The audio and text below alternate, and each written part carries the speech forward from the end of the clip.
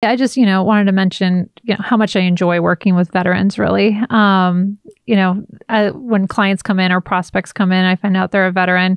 You know, there's automatically a connection there, Sure. and you know, a lot of places, a lot of times when you leave, you know, an employment, such a we have a lot of P&G retired. They leave P&G, they really miss you miss the people, right? And so, you know, throughout my career since the military, I've enjoyed working with veterans.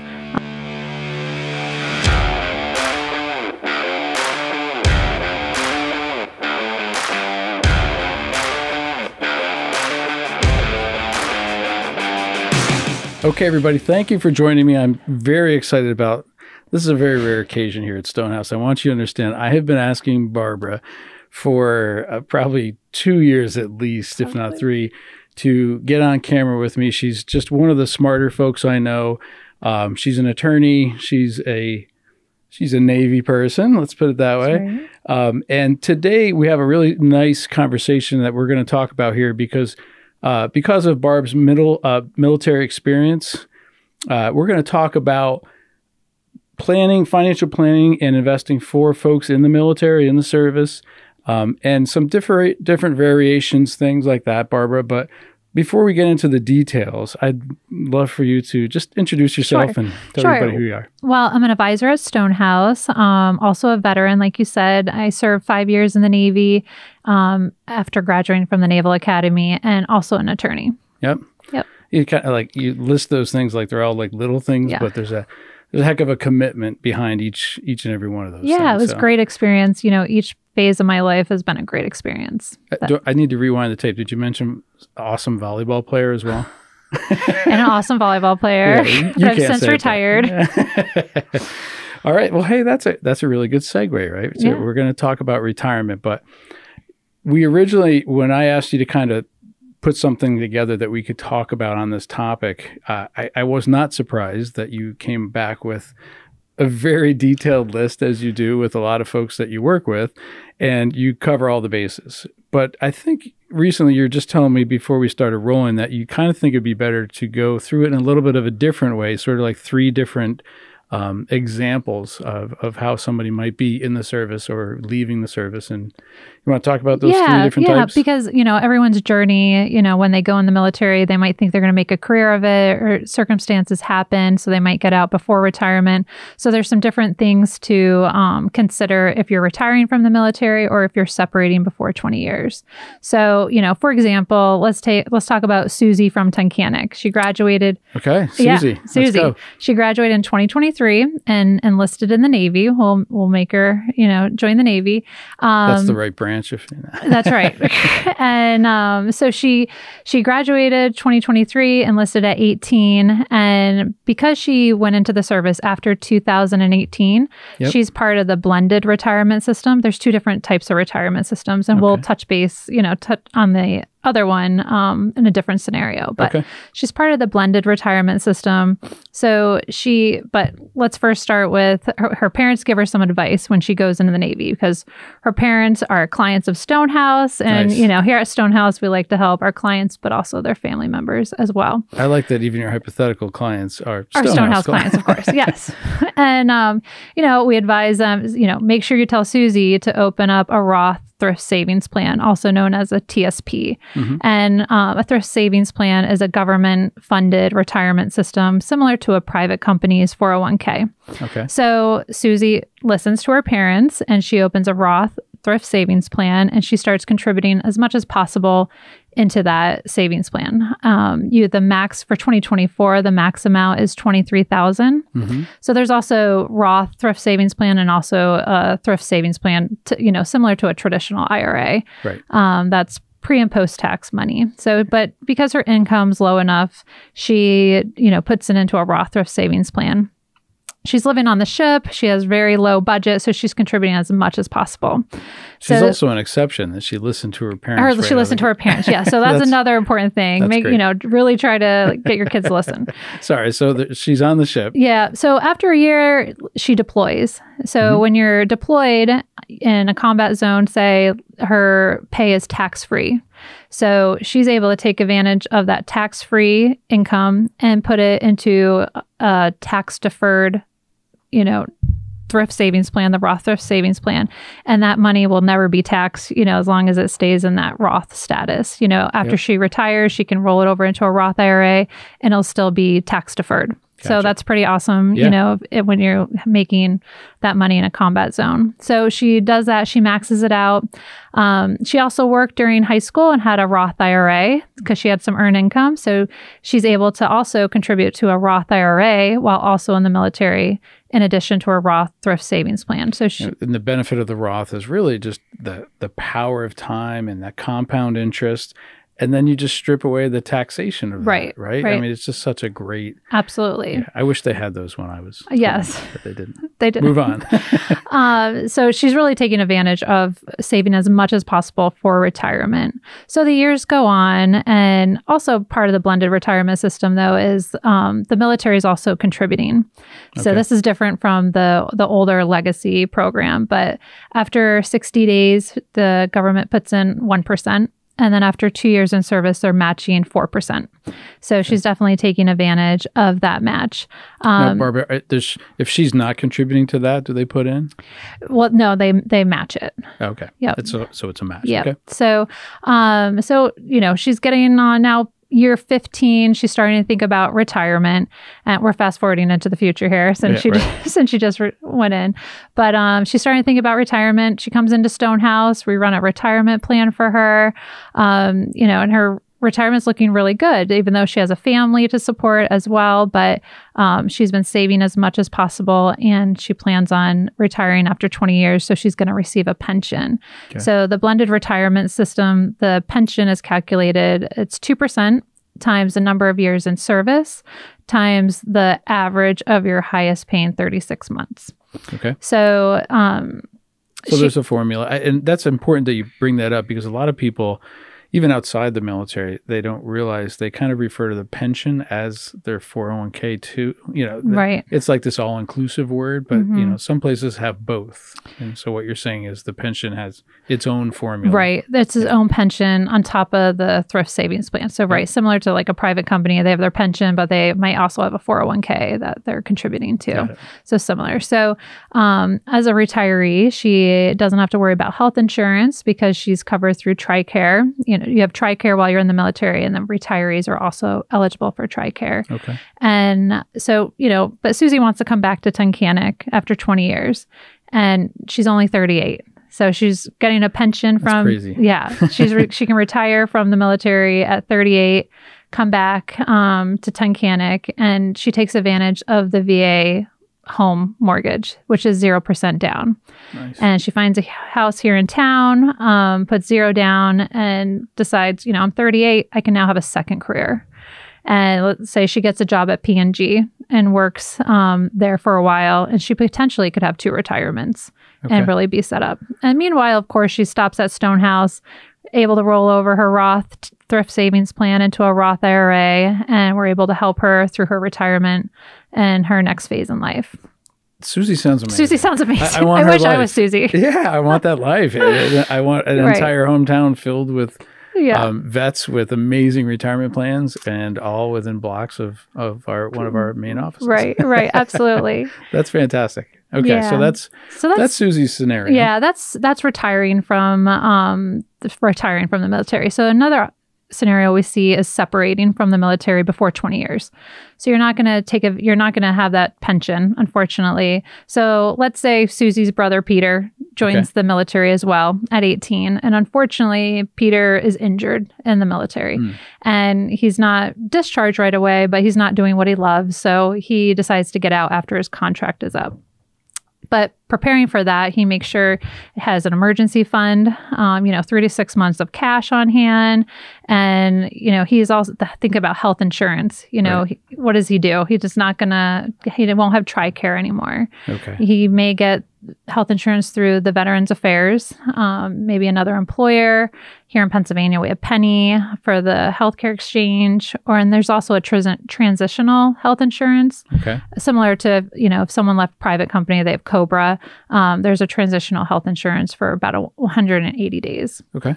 So, but let's say, you know, he has a service connected disability. So he gets in touch with a veterans organization such as American Veterans and Vets who help him with his um, VA disability claim. And let's say he's approved and he's able to get health insurance at the the Veterans Affairs. Um, so he's fortunate enough to have that.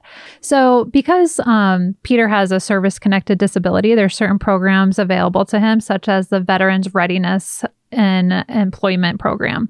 So this program helps pe- uh, veterans if they need to go to school they'll help them you know funding for to pay for school and help them get a job and they have like a counselor that works with them to get them a job so and that, again that's for veterans with service connected disabilities Okay. so he takes advantage of that he wants to be an electrician come home to tunkhannock of course and be an electrician Right. and um, that program helps him get the education he needs and helps him find the right job for him. So he comes home, of course, takes advantage of the 0% down VA mortgage and settles down and finds a job here. In the meantime, um, he partners up with Stonehouse and rolls his Roth thrift savings plan that he opened um, and contributed to during during his time in the service Gotcha. into a Roth IRA and able to see that grow tax deferred. okay. So Great.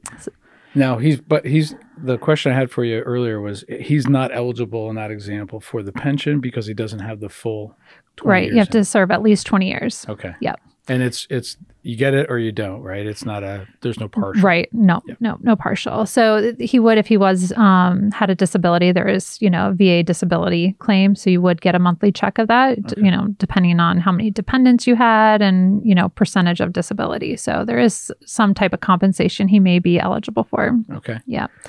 So and then, you know, there's another scenario I'd like to talk about for Susie and Peter have a brother or sister. right? John. John, Let's say let's say let's say John. John's the dad. So we need we need to make Okay. make him a little older. So, because I want to talk about the the other retirement system. Okay. So he went in a while ago before 2018. So he's part of the he's um participates in the legacy or high 36 retirement system.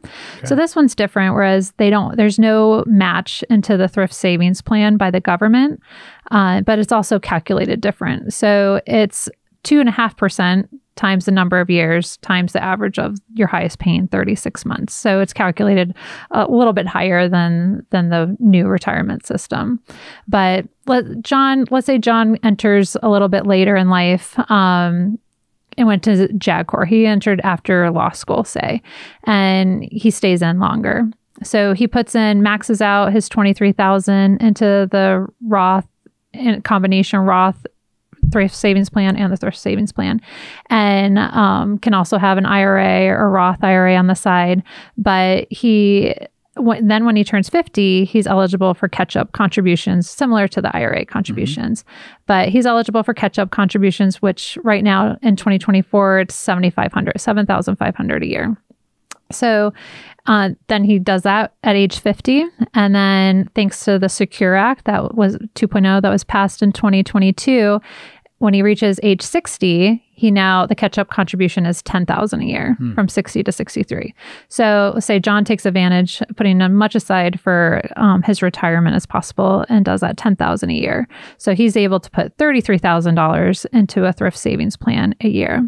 Uh, there is a new rule change in 2026 that if you make over a certain amount, you have to, your catch up contributions have to be into the Roth thrift savings plan.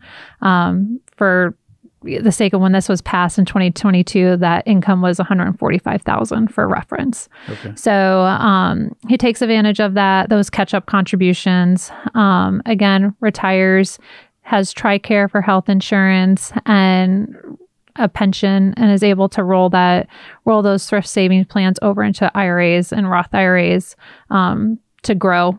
You know, for his for his retirement, and again, partners with Stonehouse. That's pretty much you know that's a typical retirement, but just wanted to touch upon those, you know, extra catch up contributions that you can have if you stay in longer if you're older. Yeah, so it's very similar to folks who are not in the service, but there, there's definitely um, certain nuances that that would make a difference. It's good to have somebody that knows the system like you're describing, uh, has experience not only with the military itself, but with the systems and, and what they have at their fingertips. My question to you, Barb, is when someone, no matter what stage you're in their career, and you're mentioning Roth contributions and or just t- straight up TSP con- contributions, so basically after tax or pre-tax, right. um, don't you worry? I mean, they're going to look at you, right? And they look at you and they say, which one do I do? Do I do both or one or the other? Which is right. it? And then you just basically weigh the factors, right? Right. So basically weigh the factors depending on what your income is, you know, your household income as well, um, and see what, you know, especially in this area,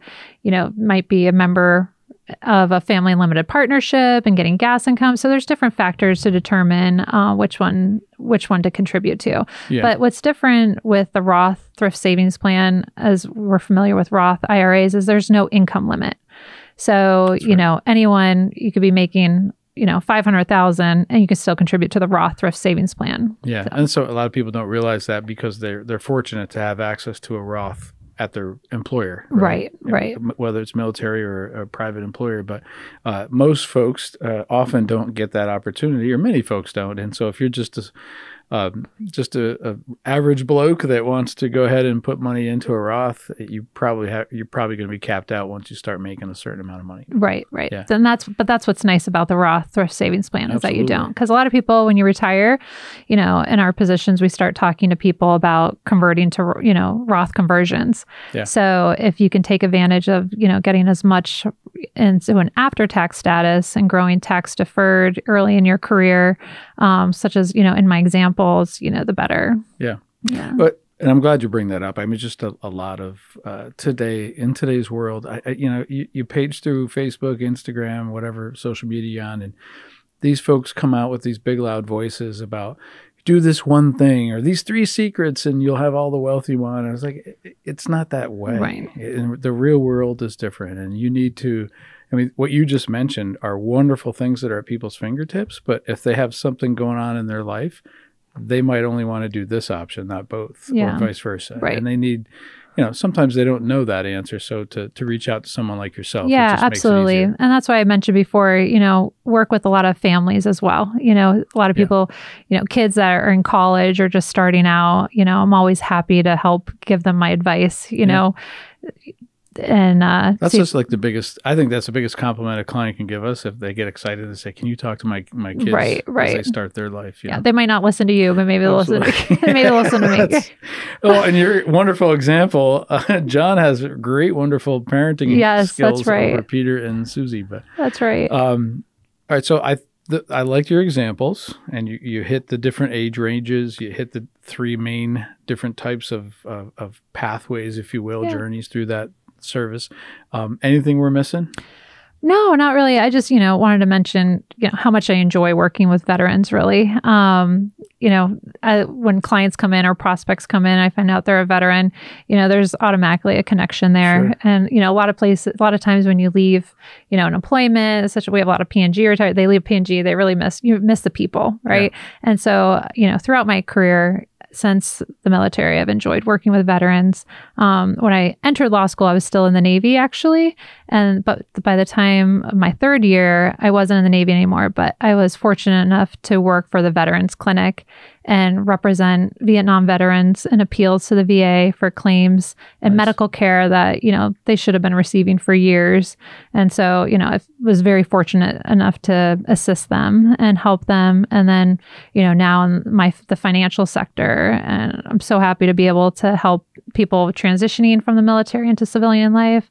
There's just so many programs also available for veterans. Mm-hmm. Um, that you know the military and the veterans organizations really want you to succeed, you know, mentally, physically, financially. So there's lots of programs there, and I'm happy to guide, you know, these people, uh, veterans transitioning, you know, from the military to civilian life. So.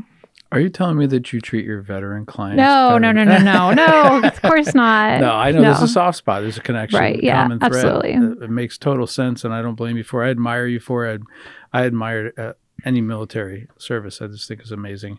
Uh, I don't personally have it. I feel like I would have done well, but yeah. I also think I'm intimidated by it. So uh, I just give kudos to everybody that's done that, and um, I'm super proud when people find out about your background and everything. And I'm glad that you found your pathway found its way here to Stonehouse because Yeah. you've been a, a big, uh, big plus for us to have you on our team. And um, I did notice in your example that you made was it Peter or John that you made in put him in Jag. Oh yeah, John. Yep. yeah, so the Yeah. father went there. So always got to work at the law in there. I somehow. know. It's yeah. It was made a little personal. So Well, and I just had I'll, I'll tell you after we start stop rolling, but I just had a client that we share just give you a wonderful compliment yesterday. So um, uh, thanks for the work you're doing inside of our company for your clients and advocating for them, and I appreciate.